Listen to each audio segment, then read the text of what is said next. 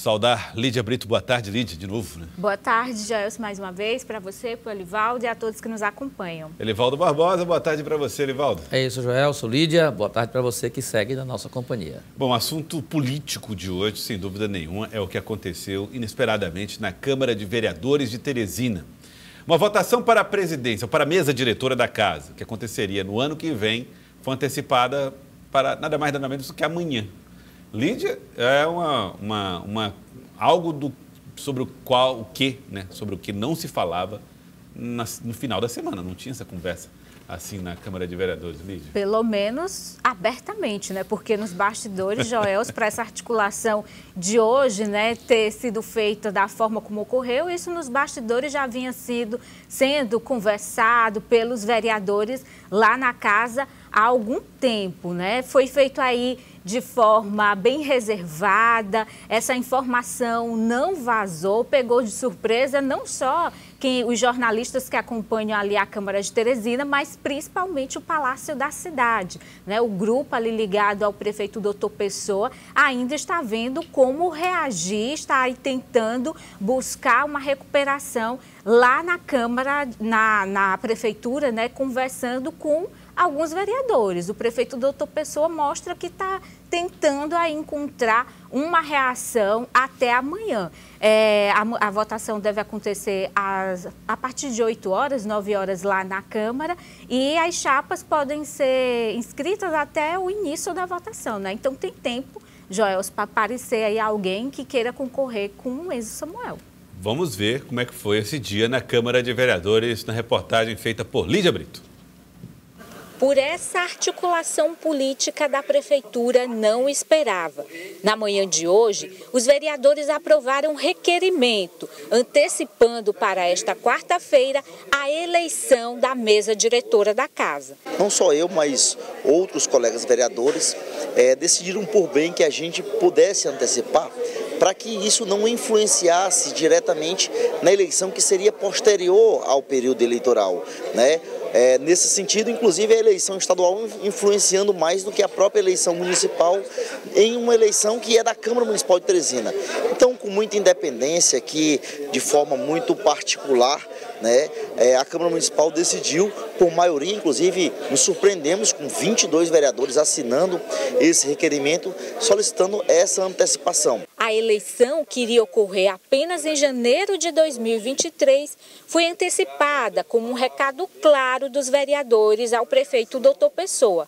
O requerimento foi apresentado pelo vereador Deolindo Moura e teve assinatura de 27 dos 29 parlamentares. Eu acho que essa antecipação interessa e muito ao prefeito, né, tendo em vista que todos os vereadores que estão né, nessa empreitada são vereadores da base do prefeito, são vereadores que votam os projetos favoráveis a, a, a, aquilo que solicita o prefeito, tendo o entendimento, logicamente, de que é o melhor para a cidade. Então, nesse sentido, nós temos aqui um nome que até bem pouco tempo atrás era líder do prefeito e que hoje é, estará é, encabeçando uma chapa na Câmara Municipal de Teresina para defender os projetos da cidade de Teresina. A casa já tem um candidato o vereador Enzo Samuel. Eu sempre disse na minha fala, existe dois tipos de homens no momento de dificuldade. Aqueles que preferem ficar criticando e aqueles que preferem botar a mão na massa. Eu prefiro botar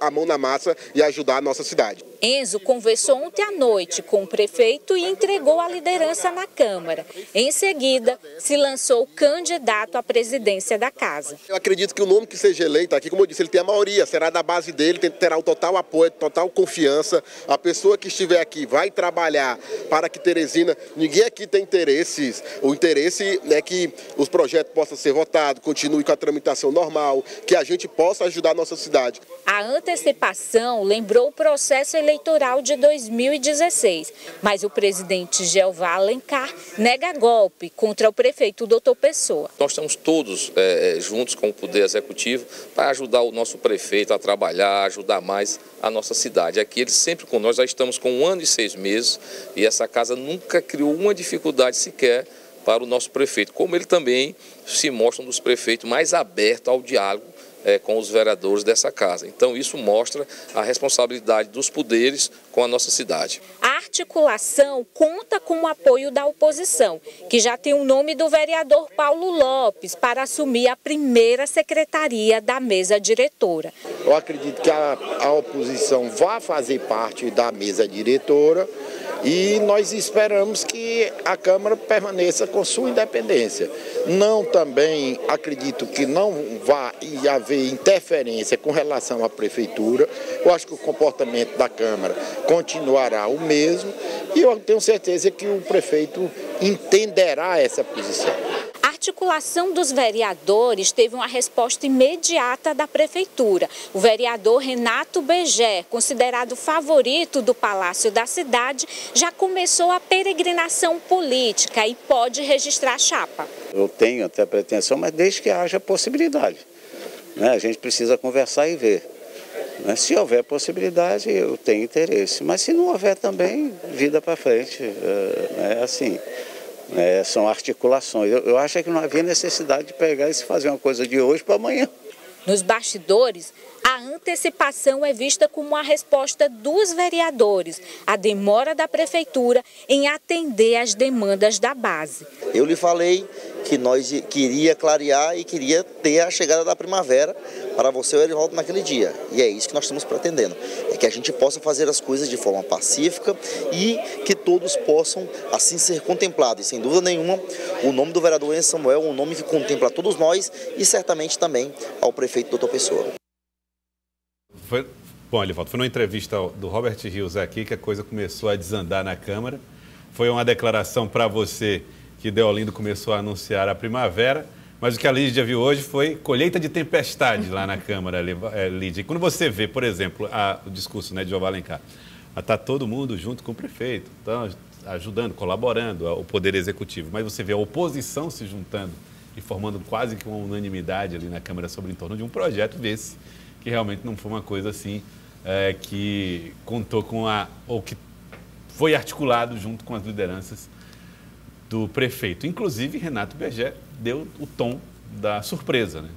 É, Renato Begé, ele deixou bem claro que foi surpreendido com essa articulação. Ele foi até a Câmara de Teresina, tentou conversar com os vereadores, ele não teve aquela recepção esperada, né? Ele não foi ali ouvido por muitos vereadores, foi até uma recepção meio que fria a Renato Begé, porque no momento em que ele chegava à Câmara de Teresina, os vereadores estavam ali é, em reunião com Enzo Samuel, já articulando a formação dessa chapa que vai ser apresentada amanhã. Os vereadores já estão, Elivaldo, ali vendo os cargos, quais são as maiores bancadas, quem vai indicar primeiro é, secretário da mesa, a oposição oposição quer fazer essa indicação, tem um bloco de quatro vereadores, mas outros partidos, como o PT, que tem aí também a vereadora Poliana Rocha do PV, né, eles estão juntos ali num bloco, né, também colocam que tem quatro vereadores. Essas discussões já estão sendo feitas lá na casa para a formação da mesa. Mas o que chama atenção é a forma como todo esse processo foi feito. Foi feito sem é, o conhecimento da Prefeitura de Teresina é, e foi feito de uma forma para não dar tempo de reação à Prefeitura. Então, por isso que a votação, a decisão de antecipar ocorreu hoje, a votação já é amanhã. Ou seja, para que Renato Begé tivesse aí dificuldades de tentar articular uma chapa, o, pró o próprio prefeito doutor Pessoa tivesse pouco tempo para chamar os vereadores, conversar com esses vereadores e tentar fazer os vereadores mudar de posição. A informação que a gente tem é que o prefeito conversa agora com alguns vereadores lá na Câmara, na Prefeitura. A gente não sabe né, até que ponto o prefeito doutor Pessoa, que argumentos o prefeito vai ter para tentar convencer esses vereadores a deixar essa articulação, que, claro, é uma articulação que começou com esse requerimento oficialmente, mas a gente sabe que nos bastidores ela já estava ocorrendo e tem aí, lógico, a participação do presidente Jeová Alencar. É possível a gente colocar agora na tela uma projeção daquilo que seria os vereadores que vão aderir e os que não vão a uma candidatura já posta e articulada que seria de Endo Samuel à presidência da Câmara de Vereadores. Essa aí, esse é o placar que a gente é, apurou hoje. Placar de agora, vamos é, dizer assim. Um Tá aí. placar que a gente apurou hoje cedo lá na Câmara de Teresina, mas como eu disse, é, Joel Cielivaldo, é, o prefeito doutor Pessoa começou essa reação, conversando com os vereadores. A gente tem, é, a gente tem aí é, Luiz Lobão, mas ele é uma dúvida, porque depois ele manifestou ali uma certa é, contrariedade. Ah, é, os que não votam em Não Enzo, votam em tá Enzo, certo. tá, então, Luiz Lobão, do MDB, Dudu Borges, do PT e Ismael Silva, do PSD. São esses nomes que é, Dudu e Ismael não assinaram esse requerimento e Luiz Lobão, a gente até acompanhou um momento em que ele estava conversando com o Renato Begé, né, lá na casa. Então, Luiz Lobão dificilmente dará o seu voto para Enzo Samuel nessa articulação aí que foi feita por esse grupo de vereadores. A gente tem aí a próxima cartela.